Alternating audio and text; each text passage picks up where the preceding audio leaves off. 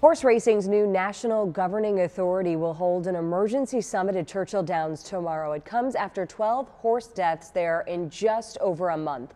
Our Eric Crawford joins us now. And Eric, you have covered Churchill Downs for a very long time. So how unusual is it to see something like this? Well, it's pretty unusual, not necessarily to see horse deaths because those happen around the country. We've seen these things at other tracks.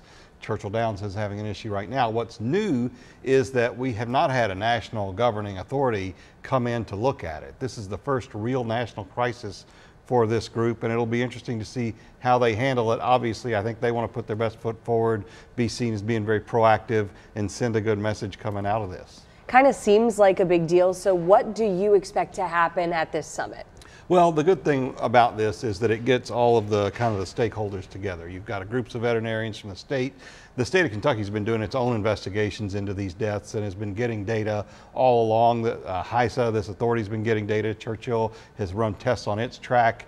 The, the governing authority is bringing somebody else to come in and do independent tests of the track all of this information will come together with all these stakeholders and groups, and they'll see what they can figure out about these horse deaths, which have been from a variety of factors. And you know, when we're talking about what caused them, do we have yeah. any idea at this point what may have caused the deaths? That's the difficult part of it. You, you really, what Churchill's focused in is anything with, with the track causing these deaths. They don't know. They hope not, but that's what you're trying to find out with all this examination of the track.